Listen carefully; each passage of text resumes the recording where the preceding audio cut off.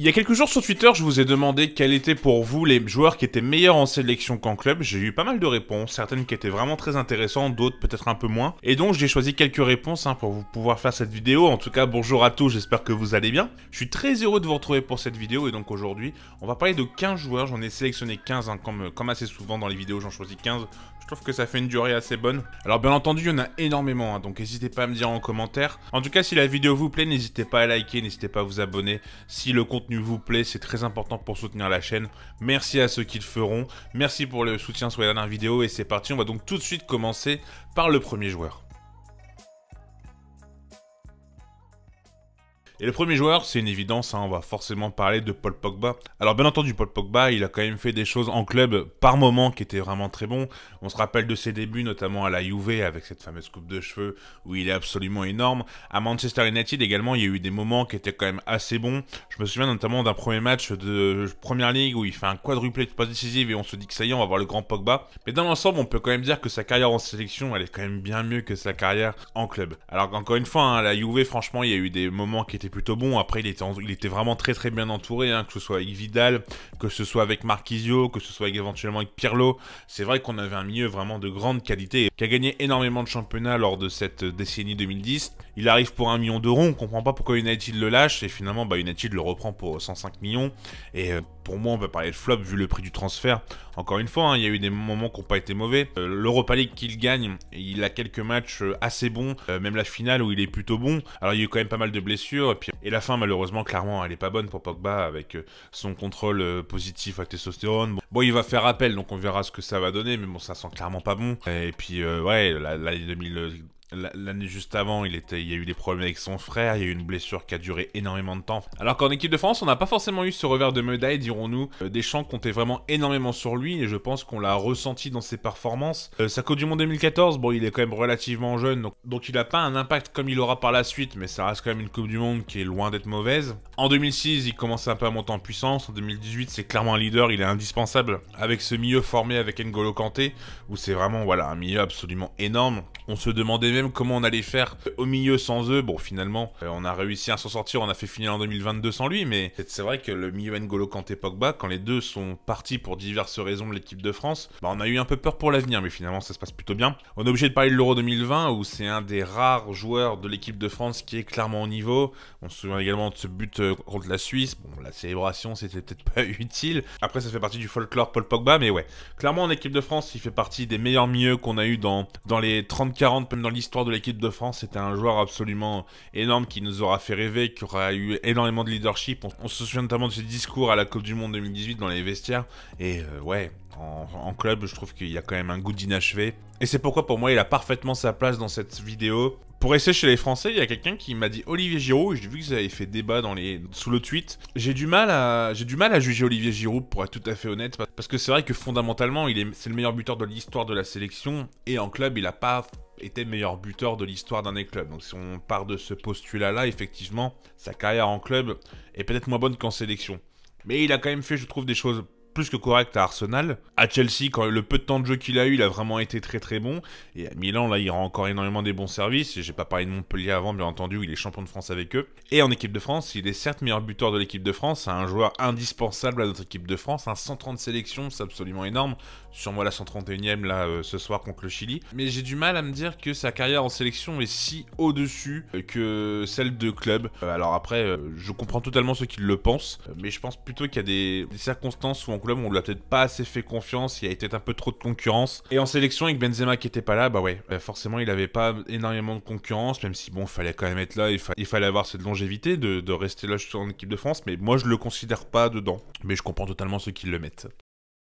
On va maintenant parler d'un joueur qui euh, m'est venu en tête assez rapidement et j'ai vu que beaucoup de vous me l'avez donné. Et on va parler de Eduardo Vargas. Eduardo Vargas, le Chilien, qui a 106 sélections, 40 buts hein, au Chili, rien que ça. Euh, il a commencé à Cobreloa de 2006 à 2009 et ensuite il rejoint l'Universidad de Chile. Euh, saison fantastique en 2011 où il le meilleur joueur du championnat et de la Copa Sudamericana, donc c'est l'équivalent de la Ligue Europa. Il est meilleur joueur et meilleur buteur de la compétition en 2011, donc énormément de clubs veulent se l'arracher et on sait que quand des joueurs font des bonnes performances sur continent sud-américain, on veut toujours s'arracher cette pépite. Et donc il y a énormément de clubs et finalement il choisit de signer au Napoli. Et au Napoli, comme en Europe de manière générale, ça va vraiment être assez compliqué. À Valence, où il va être prêté 6 mois, ça va être assez compliqué. À QPR également, où il y aura un prêt, malgré un doublé contre Liverpool, ça reste tout de même décevant. Euh, il va essayer de rebondir ensuite en Allemagne, euh, terre promise, dirons-nous, des attaquants, hein, selon, selon pas mal de gens. Et même en Allemagne, bah, ça va être assez compliqué. Il fera que 18 mois, 30 matchs, seulement 2 buts. Et il partira en 2017 ensuite du côté des Tigresses, où il remplacera d'ailleurs un certain Andy Delors. Et là, ça se passera quand même relativement bien pour lui. Donc voilà, une carrière en club qui est mi-figue, mi-raisin, dirons-nous, alors que en sélection, clairement, c'est un des énormes partisans de cette bonne sélection chilienne qui va remporter notamment la Copa América en 2015 et en 2016, qui a fait un parcours plus que correct à la Coupe du Monde 2014, euh, où, ils vont d'ailleurs éliminer l'Espagne en poule. Euh, ils vont se qualifier dans une poule où il y avait quand même l'Australie, les Pays-Bas et l'Espagne, donc ça c'est pas, rien. Ils vont finir deuxième de poule et ils vont être éliminés au tir au but contre le Brésil au Brésil, donc franchement le Chili aura fait euh, une super performance, et Vargas était clairement un des partisans, de, comme je vous l'ai dit, de cette équipe. Hein. Les Copa América, il est absolument monstrueux. La Copa América 2015, il est comme meilleur buteur avec le Péruvien Guerrero, et en 2016, c'est lui le meilleur buteur la Copa América avec 6 buts. Donc euh, ouais, joueur qui était vraiment clinique, vraiment intéressant avec une vraie grinta. Euh, deuxième meilleur buteur de l'histoire de la sélection avec 41 buts. Hein. Le premier c'est Alexis Sanchez d'ailleurs pour info à 51 en espérant qu'il augmente pas son total ce soir. Mais si on reste dans la comparaison avec l'ancien Marseillais, Vargas il a joué 107 matchs, alors qu'Alexis il en a joué 161. Donc euh, voilà, ça vous montre quand même qu'il avait un super ratio de buts par match. Et peut-être que pour les plus jeunes d'entre vous, deuxième meilleur buteur du Chili, vous vous dites ouais c'est assez anodin, il n'y avait pas forcément de concurrence, mais je peux vous assurer qu'il y avait des joueurs dans les années 90 comme Ivan Zamorano par exemple ou Marcelo Salas qui étaient vraiment des excellents buteurs qui ont, fait de très belles choses et euh, bah finir devant eux mine de rien même si je peux, je peux entendre l'argument de il y a plus de matchs en sélection aujourd'hui que dans les années 2010 qu'en 90, ça reste quand même une belle prouesse, donc voilà, Eduardo Vargas a clairement sa place. On va passer maintenant du côté du Mexique et on va parler de ce bon vieux Guillermo Ochoa. Guillermo Ochoa qu'on a vu dans notre Ligue 1, hein. on a vu à Ajaccio, on l'a vu à Malaga où ça, a plutôt été une doublure de Carlos Kameni, il a quand même eu pas mal de temps de jeu. D'ailleurs, son mécontentement sur son temps de jeu, il va être ensuite prêté à Grenade. Un petit passage également en Belgique au Standard Liège, et là aujourd'hui il la Salernitana qui est le bon dernier de cette, de cette euh, Serie A, avec d'ailleurs Costil en doublure. Et euh, Ochoa, c'est vrai qu'on l'a vu quand même faire des grosses grosses perfs, notamment à Ajaccio contre le PSG, où il a sorti un match d'anthologie. Mais euh, c'est vrai que si on regarde quand même sa carrière en club, on n'est pas au niveau de ce qu'il a pu montrer en sélection. Déjà, ça devient un phénomène médiatique après une super performance en 2007 contre le Brésil, victoire 2-0, et euh, tellement le où il fera des arrêts absolument monstrueux. Et pour vous dire l'ampleur que va prendre cette performance et ces performances qui vont suivre, bien entendu, il sera en couverture des FIFA en Amérique centrale en 2008, en 2009, donc euh, franchement rien que ça. Et, pour revenir à Ochoa et pour revenir à ses prestations contre le Brésil en 2014 lors de la Coupe du Monde, il va remettre ça 0-0 en poule où il fait des arrêts complètement phénoménal. Il fait également un super match également après lors des huitièmes de finale contre les Pays-Bas en huitième, même si les Mexicains vont perdre tout de même 2-1, mais il est clairement, euh, mais il serait clairement élu un des meilleurs gardiens du mondial avec notamment Keylor Navas avec le Costa Rica pour ne citer que Emmanuel Neuer bien entendu. Et, euh, entre deux, bah, c'est vrai qu'il y a la Coupe du Monde 2010 où il est relégué sur le banc parce que le sélectionneur, bah, il compte pas forcément sur lui et Ochoa va avoir un peu du mal à se relever de ça. D'ailleurs, les, les matchs qui vont suivre après en sélection, quand il va retrouver sa place, ça va être assez compliqué mais tout de même, dans l'ensemble, ça reste un gradient qui aura été vraiment énorme, qui aura marqué la sélection. 147 euh, sélections, un troisième ex pour l'instant en termes de sélection. Bon, il a 30 sélections des deux premiers, hein, qui sont euh, Claudio Suarez et Andrés Guardado. Mais c'est vrai que quand on voit le niveau sur certains matchs, hein, comme je vous ai dit, le match contre Jacques le PSG, même d'autres matchs, bah, on peut tout de même s'attendre à une carrière en club bien meilleure, même si on sait que le poste de gardien, c'est assez difficile de décoller. Mais tout de même, on peut peut-être, on pouvait, je pense, s'attendre à vraiment mieux concernant Guillermo Ochoa dans sa carrière en club. On va maintenant parler d'un Suisse et on va parler de Xerdan Shakiri, euh, deuxième joueur le plus capé de la sélection, 120 sélections. Je pense pas qu'il deviendra premier parce que le premier c'est Chaka qui a 122. Et vu les formes récentes, je pense que Chaka il est quand même parti pour faire encore quelques sélections. Euh, Shakiri il a quand même fait des gros clubs, hein. il fait le Bayern entre 2012 et 2015. Mais bon, il y a une concurrence énorme, hein, notamment Ribéry et Robben pour ne citer que. Et euh, en 2015, donc il fait un passage à l'Inter où c'était vraiment pas ça. il vient avec un autre joueur d'ailleurs qu'on va citer après. Ça a duré que 6 mois et franchement ça n'a pas été vraiment donc il va faire 3 ans à Stock City. Euh, puis Club va le vouloir comme doublure à Liverpool parce qu'à Stock City, il a quand même quelques moments de fulgurance. Et donc il décide de l'avoir en doublure pour apporter quelque chose de différent, puis pour pouvoir un peu faire souffler par moment, euh, bah, que ce soit Salah ou que ce soit Mané. C'est tout de même relativement décevant son passage à Liverpool, même si c'est vrai que bon, la concurrence était vraiment énorme comme je vous l'ai dit, donc c'est sûr que d'avoir une place et du temps de jeu, c'était relativement compliqué. Et il y a un club qui se dit que c'est peut-être la bonne idée de pouvoir prendre Shakiri parce que s'il joue pas à Liverpool, c'est qu'il a pas de place. Bah c'est l'OL, sauf qu'on se rend compte à l'OL que finalement il a pas vraiment le niveau escompté. Euh, il va faire que 6 mois et ensuite il va partir du côté. Il va faire que 6 mois, ça se passera pas bien forcément avec Peter Boss. Et euh, bah, merci pour le but contre l'OM, hein, mais franchement à part ça il y avait rien de la part de Shakiri. Et il va partir ensuite en MLS où il joue aujourd'hui. Et ouais, sa carrière en club, il aura il aura pas laissé de traces indélébiles dans tous les clubs dans lesquels il est passé. Alors qu'en sélection, c'est un cadre indispensable, il est indéboulonnable. Je pense qu'il nous a tous marqué. On a au moins un but de Shakiri en tête avec la Nati. C'était franchement assez monstrueux. Il mettait toujours des buts complètement fou. Euh, il y a ce triplé en poule contre le Honduras notamment. Il y a le retourné également qui est contre la Pologne à l'Euro 2016 où il est vraiment très très fort, où il est vraiment assez monstrueux ce but. Euh, le doublé à l'Euro 2020 également contre la Turquie. Euh, enfin ouais, Shakiri en sélection c'était vraiment un monstre. Hein. On, avait toujours peur de lui quand on jouait contre contre la Suisse. On se disait qu'on à tout moment on pouvait se prendre un but de fou. Alors qu'en club, ouais, c'était quand même assez, assez compliqué. 29 buts en sélection hein, pour vous donner le total. Quatrième meilleur buteur de l'histoire de la Nati. Le premier c'est un Alexander Frey 41 buts. Maintenant, Shakiri met 12 buts d'ici là, surtout vu son positionnement. Mais euh, ouais, Shakiri bien meilleur en sélection, ça c'est une certitude. Et le deuxième joueur qui, et le deuxième joueur qui vient avec Shakiri à l'Inter, c'est un Allemand, et euh, c'est Lukas Podolski. Et lui aussi, alors sa carrière en club, elle reste quand même correcte, on va pas se mentir, mais par rapport à l'impact et son importance énorme à la sélection, franchement ça a vraiment rien à voir et il fait totalement partie de cette liste. Podolski commence en 2003 du côté de Cologne, avant de partir au Bayern en 2006 où bah il fera quand même pas mal de temps sur le banc, ça va être assez compliqué pour lui d'avoir énormément de temps de jeu, il a quelques blessures notamment, et donc il retournera en 2009 du côté de Cologne. Euh, les débuts d'ailleurs lors du retour à Cologne sont assez compliqués, mais par la suite euh, ça se passera beaucoup mieux pour lui, et euh, bah, il récupère en 2010 le brassard de capitaine, ce qui va un peu le galvaniser. Il va vraiment être très très fort, même en la saison 2011-2012, alors que le club descend en seconde division, bah, il fait quand même une belle saison euh, pour une saison de la descente, il est clairement bon. Donc bah, il va partir du côté de l'Angleterre, plus précisément à Arsenal. Et à Arsenal, c'est pareil, ce sera pas un titulaire indiscutable, même s'il fera quand même beaucoup de rentrées. Clairement, dans la rotation pour Wenger, Podolski est un élément très important. Euh, il aura un, temps de jeu assez conséquent. En fait, il y a un moment, Cazorla, corrigez-moi les Gunners si je me trompe,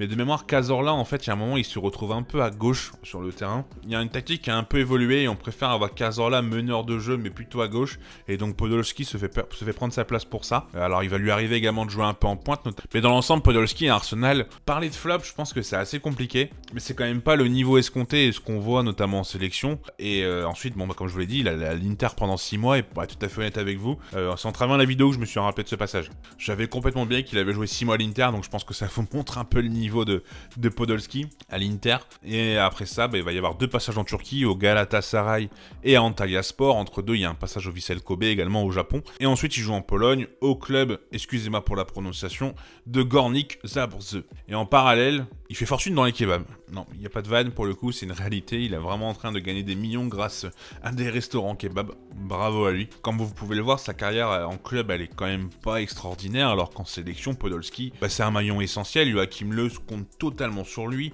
130 sélections, hein, c'est quand même le même nombre de sélections que Olivier Giroud. Enfin, Giroud va faire sûrement la 131e ce soir, mais à l'heure où je tourne, c'est la 130e comme Giroud.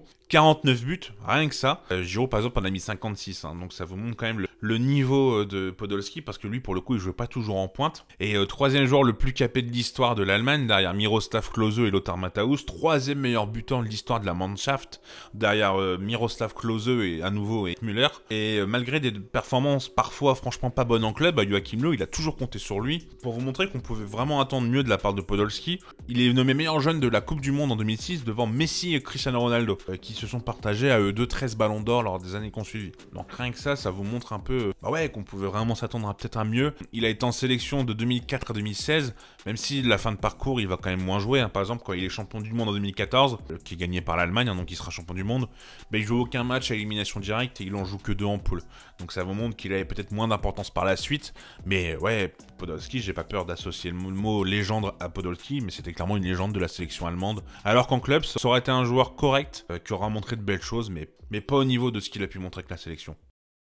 On va ensuite parler de Youssef Belaïli. Euh, je vais aller assez vite sur lui car c'est pas un joueur que je connaissais vraiment bien. Je l'ai connu en fait à la Cannes 2019 où euh, ouais, il m'a tapé dans l'œil. Je me suis dit mais il sort d'où ce mec? Il est vraiment trop trop fort. Alors j'imagine que les suiveurs algériens et les suiveurs du, championnat africain vous connaissiez forcément Youssef euh, Belaïli, mais moi je le connaissais pas donc je vais être assez assez vague sur ses débuts avant la Cannes 2019. Et c'est vrai que cette canne, bon, on parle à juste titre de celle de Real Mares, hein, qui a vraiment été très bon, mais euh, c'est vrai que celle de Belaïli, il m'a vraiment bluffé par sa qualité de dribble, vraiment virevoltant, vraiment un bon joueur. Et euh, lui, il arrive en 2015 en sélection, il avait fait pas mal de matchs à les espoirs, il avait même été élu euh, meilleur espoir algérien en 2012. Donc je pense qu'il y avait quand même pas mal d'attentes autour de lui.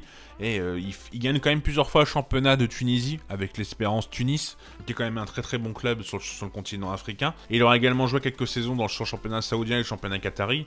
Mais voilà, on pouvait imaginer quand même qu'il ait fait quelques saisons en Europe pour montrer un peu tout son talent. Enfin vraiment, il avait quelque chose de, de fou et c'est étonnant de pas le voir en Europe. Ça va arriver par la suite après cette canne. Et même en Ligue 1, on le voit arriver à Brest. Franchement, vu sa canne, c'est quand même assez surprenant de le voir arriver qu'à Brest. Euh, sans manquer de respect à Brest, surtout en ce moment, on va pas manquer de respect au stade brestois. Mais à l'époque, pas. Enfin, c'était surprenant de voir Belaïl arriver là-bas. Et encore une fois, on voit du talent, euh, ce qui est rien de surprenant parce qu'on voit que c'est un joueur qui est très talentueux.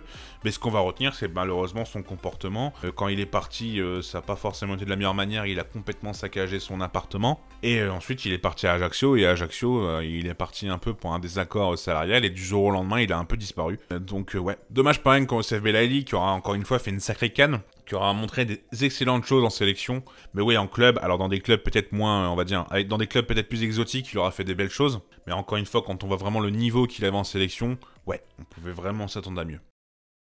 On va parler maintenant d'un Belge, et euh, je pense que c'est... Bon, vous l'avez vu sur la miniature déjà, donc vous savez de qui on va parler, mais c'est clairement une évidence, c'est Romelu Lukaku. Et euh, je m'étais pas rendu compte euh, de, des stats de Romelu Lukaku avec la sélection belge. C'est 83 buts en 113 matchs. 83 buts. Pour vous donner un peu le, niveau, le deuxième au classement des buteurs en sélection belge, c'est Eden Hazard, il est à 33 buts. Il a marqué plus de buts en sélection que Pelé et Neymar pour l'instant. Septième des meilleurs buteurs de l'histoire des sélections. C'est franchement Romelu Lukaku, c'est assez incroyable euh, l'apport qu'il a en sélection et je comprends mieux parce qu'il y a beaucoup beaucoup de Belges. D'ailleurs, merci les suiveurs belges, j'ai vu qu'il y en avait vraiment beaucoup sur la chaîne, donc euh, salut à vous. Et je comprends pourquoi il y a tout cet engouement autour de Romelu Lukaku que tout le monde l'aime autant parce que c'est vrai qu'en sélection, c'est assez monstrueux ce qu'il fait. Alors qu'en club, euh, on peut s'attendre à mieux parce que je me souviens, il tâte dans l'œil un peu des observateurs autour de 15-16 ans avec Anderlecht où il est vraiment très très fort et puis il a, ce profil un peu atypique, hein, grand baraque, rapide. quand il est jeune, il, est pas toujours très très lent, mais c'est vrai qu'il a peut-être un peu perdu en vitesse par rapport à ses 16 ans. Mais on se dit, waouh, c'est quoi, cet ovni? Il va marcher clairement sur la planète foot. Euh, il a vraiment un profil trop atypique. Je pense que s'il est vraiment très très fort, ça va donner quelque chose quand même franchement de fort. Et euh, il y a eu des bonnes, y a eu des bonnes saisons. Euh, il y a eu des saisons notamment à Everton où il est clairement pas mauvais. Euh, à Chelsea entre deux, ça a été plus que compliqué. il y a eu également le à United où il y a eu des hauts et des bas, mais je pense qu'on peut pas dire que ça a été on peut pas dire que ça a été un échec, mais on peut pas dire que ça a été une énorme réussite non plus, surtout vu le prix du transfert. il renaît totalement du côté de l'Inter où ils font champion d'Italie en 2021 où il est vraiment, ouais, il est vraiment monstrueux. Franchement, avec Lautaro, ça fait une double de fou. il retourne à Chelsea pour plus de 100 millions ça se passe absolument pas. Il dit rapidement qu'il est pas à l'aise, qu'il se sent pas chez lui. Donc il va être prêt à l'Inter. La saison dernière à l'Inter, mi-figue, mi-raisin, encore une fois, on va utiliser cette expression euh, pas dite depuis 1930. Et ouais, cette saison à la Roma, c'est pas si mal. Franchement, c'est pas si mal, c'est loin d'être mauvais. Euh, il fait quand même des choses assez correctes. Mais ouais, franchement, par rapport à tout ce qu'il fait en sélection, bon, même si la Coupe du Monde 2022, clairement, ça le, ça le dessert un peu, on va pas se mentir. Même si la, Coupe du Monde 2022, il a, il a gâché énormément de choses, et si la Belgique est éliminée en poule, il a un peu sa part de responsabilité là-dessus sur le dernier match. Mais ça reste une légende de la sélection belge, hein, vraiment. C'est un joueur absolument incroyable en sélection et en club. Ça a été un bon joueur, c'est un bon joueur, mais on pouvait s'attendre à ce qu'il soit vraiment au niveau d'un Kane, au niveau de voilà de ce genre d'attaquant. Vu le potentiel qu'il avait et vu ce qu'il a pu montrer sur certains matchs en club, et franchement pour l'instant, si je reprends l'exemple Kane, vachement loin, on n'est pas sur la même galaxie. Après avoir parlé des voisins belges, on va parler des voisins des Belges, on va parler des Néerlandais et euh, on va parler de Memphis. Euh, alors Memphis en tant que Lyonnais, c'est vrai que c'est assez difficile de le mettre dedans parce que à Lyon il a vraiment été trop fort, même s'il y a eu des matchs peut-être un peu moins bien, son début a été assez approximatif. Mais euh, Memphis, ça nous a clairement fait rêver. Il aura été vraiment excellent. Il se sera toujours battu pour le maillot lyonnais. Donc, c'est assez difficile de le mettre dedans. Mais c'est vrai qu'à part à Lyon, son passé et au PSV, quand il a commencé sa carrière, ses passages en club, c'est quand même pas flamboyant. À United, entre le PSV et Lyon, c'est clairement compliqué. Mais je me souviens parce que c'était vraiment un des jeunes cracks qui devait exploser. Et United, ça a été plus que compliqué. Et euh, quand il arrive à Lyon et que Lyon veut le relancer, moi, j'avoue que je suis assez sceptique. Je me dis, mais pourquoi on prend Memphis? Alors qu'au final, l'histoire donnera raison à Lyon. Il va ensuite au Barça où bah, il aura pas forcément de temps de jeu, et puis en plus, bah, il s'est fait les croiser à l'OL, et même s'il est revenu vite, il est peut-être revenu un peu trop vite, euh, parce que, alors il a été bon après les mois d'après avec l'OL, mais ensuite son corps, on a senti qu'il commençait à lâcher, donc à Barça, ça a été assez compliqué. Et à l'Atletico, bon là, on sort d'un match où il est énorme lors de sa rentrée contre l'Inter, mais dans l'ensemble, j'ai pas envie de le prendre en exemple parce que c'est un joueur pour qui j'ai de l'affection, mais est-ce qu'on nous aurait dit à 5 ans que Memphis serait le remplaçant de Morata? Et ouais, c'est dommage Memphis, euh, parce qu'en club, il a vraiment pas eu la carrière. Encore une fois, quand on regarde juste les noms, c'est une très belle carrière, mais quand le contenu, encore une fois, c'est pas extraordinaire. Alors qu'en sélection, clairement, dans une sélection qui a quand même eu des périodes vraiment compliquées, ah bah c'est le taulier, hein. C'est clairement le taulier. Il est deuxième meilleur buteur de la sélection, alors que bon, bah des, buteurs euh, bataves, euh, j'ai pas besoin de vous en citer énormément. Il est deuxième à 6 buts devant de Percy seulement, donc à tout moment il devient meilleur buteur de la sélection orange. Donc euh, voilà, rien que ça. Et ouais, c'est un joueur qui aura vraiment été important dans cette sélection, qui aura marqué des buts vraiment importants, qui aura marqué vraiment des buts importants, qui aura été le, lien entre l'ancienne génération et la nouvelle génération qui est arrivée par la suite. Et, ouais, Memphis, c'est un joueur essentiel à cette équipe, à cette sélection euh, entraînée par Ronald Koeman. Mais euh, ouais, en club, encore une fois, la carrière est correcte, mais ouais, on pouvait s'attendre à mieux. On va ensuite parler d'un des joueurs les plus décriés des 5-10 dernières années. Parfois, à mon sens, c'est pas à juste titre, mais bon, euh, je suis pas fan du joueur en plus, donc euh, pas m'amuser à le défendre, mais on va parler de Harry Maguire. Et Harry Maguire, le seul problème qu'il a pour moi dans sa carrière en club, euh, au-delà de certaines performances qui sont pas bonnes, hein, on va pas se mentir, même si cette saison, il y a eu des mois où il a été très très bon, et quand je vous fais le mercato idéal de Manchester United, bah, parce qu'à ce moment-là, il est en pleine bourre, et je me dis que moi, il va, il peut toujours devenir un remplaçant assez intéressant. Et en fait, Harry Maguire, le gros problème qu'il a eu, c'est qu'il a été acheté beaucoup trop cher, et on lui laisse aucune erreur en plus, il a un style un peu nonchalant, euh, une technique vraiment euh, assez compliquée. C'est facile avec son style et avec le prix du transfert de devenir un peu une raillerie. Alors je suis pas en train de vous dire que Maguire il vaut 90 millions, que c'est un des meilleurs défenseurs centraux du monde. Hein. Mais je pense que par moment on est peut-être un peu trop dur et c'est vrai que bah, quand on voit 15 euh, secondes d'highlight où il dribble et où il a, rien que le ballon, bah ouais c'est sûr que là on se dit mais pourquoi il est 90 millions, c'est une chèvre? Moi qui regarde quand même pas mal de matchs de Manchester United, il est pas passé tant de fois que ça à côté des matchs, même si encore une fois il vaut pas 90 millions et ça reste décevant son passage à Manchester. Hein on s'entend totalement.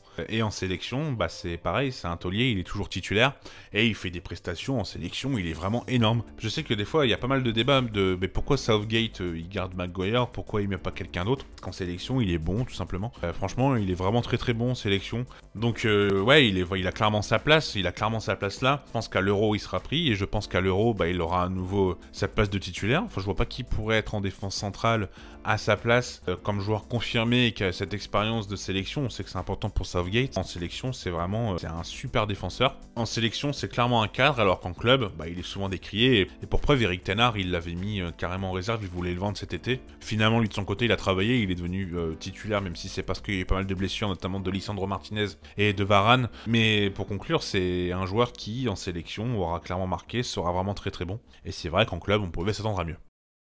On va ensuite parler d'un joueur récent, mais vu que vous m'en avez pas mal parlé sous le tweet, je vais le mettre, même si pour moi, faut pas l'enterrer, et peut-être que euh, par la suite, ce sera bien mieux en club, mais on va en parler parce que je sais que sinon, vous allez me dire des commentaires sur lui, et ça se trouve, vous allez me dire des commentaires sur lui parce que je l'ai mis, enfin bref. Mais on va en parler, et on va parler de Asdi Dounaï. Euh, pourquoi je parle d'Ounaï? Parce que bah, à Angers, euh, c'était par moments bon, mais c'était quand même pas fou, et à Marseille, pour l'instant, en un an et quelques mois, c'est assez décevant. Alors oui, c'était pas forcément le joueur Tudor compatible, donc le prendre à ce moment-là, c'est vrai que ça pouvait paraître tout de même assez surprenant. Bon voilà, mais là après il y a eu Marcelino, bon Marcelino, il l'avait mis à gauche, alors forcément, pas forcément d'explication de pourquoi mettre Unai à gauche, heureusement il est parti assez vite, et sous Gattuso est là sous Gassé, Unai, moi j'en attends quand même beaucoup mieux. Bon, ça a été assez compliqué également, mais pour le coup il a plutôt joué à son poste, et là avec Gassé, ouais c'est pas... On n'a pas le Unai qu'on aimerait voir alors que c'est un joueur avec le Maroc sa Coupe du Monde 2022, il est monstrueux, honnêtement. Euh, c'est vraiment, c'est, j'ai pas les mots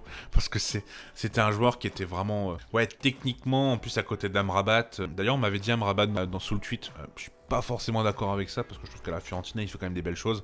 Là, United, c'est assez compliqué, donc, donc, voilà. Mais je trouve que dans l'ensemble, quand même, c'est pas, c'est pas si ridicule, Amrabat. Mais ouais, Unai, encore une fois, hein, ça se trouve, il va rebondir dans un club et ça va vraiment très très bien se passer. Mais là, actuellement, si on reste dans le, on reste sur sa jeune carrière, c'est sûr que, bah, pour l'instant, Unai, on l'a vu très très bon, même excellent avec le Maroc en sélection. Alors qu'en club, pour l'instant, bah, c'est assez compliqué. On va espérer qu'il renverse la vapeur et qu'il soit plus éligible à cette vidéo d'ici quelques années. Parce qu'encore une fois, c'est un joueur vraiment, il est, il est tellement beau à voir en plus à avoir joué. Mais ouais, pour l'instant, il a sa place dans cette vidéo. Et on va parler également d'un joueur qui pour l'instant est encore jeune aussi, mais qui peut rentrer dans cette vidéo. C'est Michael Damsgaard, euh, le joueur de Brentford, le Danois, qui nous a sorti un euro d'une qualité absolument remarquable. On est tous tombés amoureux de Michael Damsgaard en regardant cet euro 2020-2021 avec cette petite dégaine là. Euh, déjà, il m'a rassuré sur ma calvitie parce qu'il en a une plus grande que moi à 20 ans, donc merci pour ça. Enfin, il est vraiment euh, soyeux, super qualité de passe, vision de jeu très élevée, QI foot supérieur à la moyenne très clairement. Et en club, pour l'instant, la Sampdoria, ça a été assez compliqué. Et aujourd'hui, là, bah, il a eu une opération du genou là en début d'année et il a fait que 352 minutes cette année. Et il n'est pas titulaire dans cette équipe de bande qui, pour l'instant, n'est pas dans sa meilleure version, on va dire, lors de cette première ligue. Et pourtant, il n'arrive pas à devenir titulaire. Et j'ai l'impression qu'on va rester là-dessus sur Damsgaard. Donc c'est pour ça que je mets dans cette vidéo. Encore une fois, il est jeune. Comme Unai, peut-être qu'il va me faire mentir au suite des années. Mais là, à l'heure d'aujourd'hui, le 26 mars 2024, euh, ouais, Damsgaard, il a sa place dans cette vidéo. Et c'est dommage parce que moi j'y croyais, je pense que beaucoup de gens y croyaient. On va revenir sur un joueur un peu plus ancien et on va parler d'un joueur qui est passé par le PSG. Et on va parler de ce bon vieux Diego Lugano. Ah, Diego Lugano, ça doit pas rappeler des bons souvenirs hein, aux supporters parisiens, mais il a fait que 12 matchs avec le PSG et euh, il s'est montré sur sa lenteur, sur son mauvais positionnement, sur, sur ses tacles des fois un peu, un peu bizarres avec, des cartons qui étaient clairement évitables. Franchement, Diego Lugano, comment t'as pu arriver au PSG Vraiment c'est assez, euh, assez fou. Et euh, avec le Fenerbahce, je vous avoue que j'ai pas forcément vu les matchs. Avec... Mais ouais, en tout cas, de ce qu'on a vu de Diego Lugano avec le PSG, euh, c'était pas ça. Alors qu'en sélection, c'était vraiment l'homme, le rock défensif, le joueur très très important dans cette défense, avec sur les côtés les deux Pereira, Alvaro Pereira et Maxi Pereira. Et en 2010, il est clairement très très bon. Quand l'Uruguay finit quatrième de la Coupe du Monde, c'est vraiment un des joueurs principaux et un des acteurs majeurs de cette équipe d'Uruguay. La Céleste qui fera d'ailleurs ensuite vainqueur de la Copa América et c'est pareil, il est plus qu'important. Mais ouais, en, club, euh, ça a clairement pas été ça. Donc on va pas, on va pas épiloguer sur Diego Lugano, mais je pense qu'il a clairement sa place dans cette vidéo. Parler d'un autre joueur qui m'a marqué lors de la Coupe du Monde 2010 et qui aura eu une carrière en club qui sera pas forcément celle attendue vu le, je pense le talent euh, qu'il avait, c'est Asamoah Gyan qui a fait un passage à Rennes entre 2008 et 2010 où franchement c'était loin d'être ridicule, euh, bien au contraire et ensuite il y a un passage à Sunderland. Mais à part ça euh, en Europe déjà il n'y a pas grand chose, enfin si avant Rennes il fait plusieurs années en Italie, à Udinese et même un à Modène où j'ai pas forcément de, de souvenirs de lui. Et ensuite après c'est des passages aux Émirats Arabes Unis dans d'autres clubs un peu exotiques. Et d'ailleurs aux Émirats Arabes Unis il finira trois fois meilleur buteur de suite là-bas, en 2012, 2013, 2014. Mais ouais, c'est pas, c'est pas étonnant, parce qu'en sélection, il était vraiment trop trop fort. Deux fois finaliste de la Cannes en 2010 et en 2015, troisième lors de la Cannes euh, en 2008 et euh, la Coupe du Monde hein, où malheureusement justement ils sont éliminés par l'Uruguay avec cette main de Luis Suarez à la fin où il rate le penalty. Euh, d'ailleurs cette année-là il finit 18ème au Ballon d'Or. Hein. On en avait parlé dans une vidéo sur les oubliés du classement Ballon d'Or. Vraiment meilleur buteur de l'histoire des Black Stars, 51 buts, deuxième joueur le plus capé devant Jordan Ayou et derrière André Ayou. 109 sélections et ouais un monument au pays, une légende au pays et en club bah ouais on n'a pas eu une carrière en club par rapport à son talent aurait dû être beaucoup plus belle et, puis, et beaucoup plus équivalente au niveau du joueur. Et ça n'a pas, ouais, ça pas été le cas. Bon, il a choisi des championnats où on gagne mieux sa vie. Vous savez que sur la chaîne, on juge pas par rapport aux gens où les gens ont grandi. On sait, on sait que voilà, certains, certains joueurs africains, euh, il y a une famille derrière, il y, a un entourage derrière, donc euh, on est toujours en train de, on, on essaye par moment de chercher l'argent et ça, ça se juge pas. C'est une culture qui est différente et voilà. Il y avait, il y a pas mal de joueurs qui l'ont raconté. D'ailleurs, même là, encore des jeunes, hein, on entend par, on entend des jeunes parler des fois, ils disent ouais, bah, je veux gagner de l'argent pour ma famille ça se comprend totalement. Mais c'est vrai que ouais, en club, pour, ça reste quand même assez décevant. On va ensuite parler d'un costaricien, et euh, non, on va pas parler de Joel Campbell, mais on va parler de Brian Ruiz. Brian Ruiz, c'est vrai qu'il joue dans une sélection qui était peu médiatisée, mais on a quand même eu euh, la possibilité de le voir quelques fois. Et c'est vrai que des costariciens qui ont percé, ça se dit bien costaricien d'ailleurs, hein, j'ai vérifié. On n'en connaît pas énormément, à part Navas, à part, euh, à part Navas, le gardien du PSG, à part Joel Campbell éventuellement, euh, qui avait été passé par Arsenal et le Real Betis également. Petite pensée également, je me sens vu en disant son nom, mais Apollo One Shop, qui avait joué en début des années 2000 du côté de City et de West Ham de mémoire. Et euh, ouais, je me sens tellement vu en disant son nom, je viens d'avoir un flash, bref. Mais ouais, Brian Ruiz, en fait, il avait tellement de talent, il avait montré tellement de belles choses, et balle au pied, il était tellement soyeux qu'on pouvait s'attendre à une meilleure carrière. Alors le début en Europe, il est pas mauvais, hein, à la Gantoise de 2006 à 2009, ça se passe plutôt bien. À Twente, derrière, pendant deux ans, clairement, il a des stats et ça se passe encore mieux. Par contre, à Fulham, à partir de 2011, euh, c'est plus compliqué. Mais je pense que c'est parce qu'il était trop frêle par rapport au championnat, donc forcément, c'est assez compliqué. Il y a ensuite un prêt au PSV où c'est clairement pas une réussite. Et en 2015, il va rebondir au Sporting, euh, au Portugal. J'ai souvenir que c'était pas si mal. N'hésitez pas à me dire en commentaire parce que, comme je vous ai déjà dit, je suis pas forcément la Liga B-Win. Et euh, je veux bien votre ressenti, du coup, je sais qu'il y a pas mal de suivre le championnat portugais, mais de mes mains au Sporting, c'était pas forcément si mal. Euh, ça reste dans l'ensemble une carrière qui restera pas dans les annales, alors qu'en sélection, c'était vraiment le meilleur de cette équipe.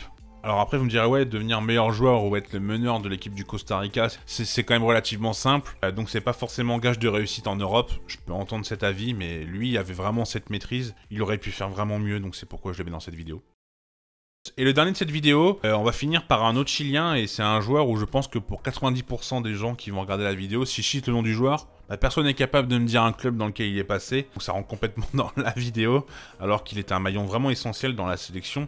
Et ce joueur, c'est Jean Beauséjour. 67 euh, matchs en première ligue, euh, à Birmingham et à Wigan entre 2010 et 2013. L'année 2014, il est encore à Wigan, mais ce sera en championship. Et sinon, c'est une carrière hors d'Europe, Enfin jeune, il a été en Suisse au Servette FC où ça a été très compliqué. Et à la Gantoise, en 2006, il a joué zéro match. Voilà. Autant vous dire qu'à part le passage en Angleterre, le reste, c'est pas fameux. C'était un milieu gauche, un milieu... Et alors qu'au Chili, c'était vraiment un joueur essentiel, comme Eduardo Vargas d'ailleurs, on en a parlé.